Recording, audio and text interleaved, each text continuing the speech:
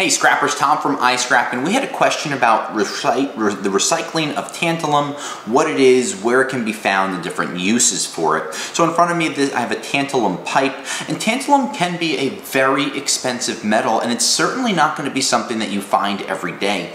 As the 73rd element on the periodic table, tantalum is generally found in only a few countries throughout the world.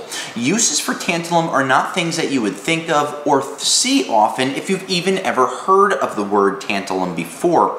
Now, tantalum is not going to be used in everyday devices that you would have in your house that you would scrap regularly, but once in a while you might have someone that says, hey, I have some tantalum or I work with something and it's really in uh, really important for you to know.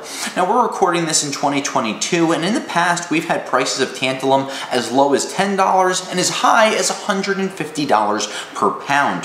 Now tantalum can be found in a variety of industries but the main industry that you're going to find tantalum in is the capacitor industry.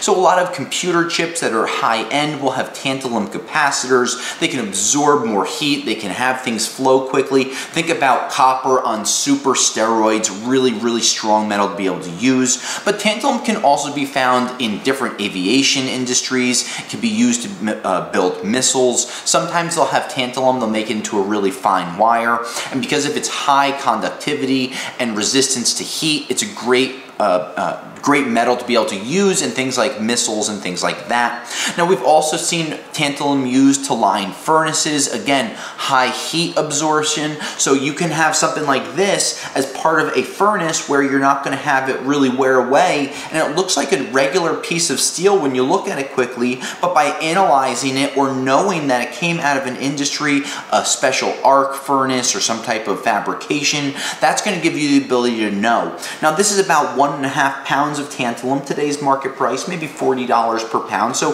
this one little piece is $60. And if you ever come across tantalum, it's really interesting and important to really ask the scrapyard to use their analyzers. Now, many scrapyards will not buy tantalum because it's not something that they come across every day like copper, aluminum, or steel, so you might be a little hard pressed to find someone that's willing to buy it.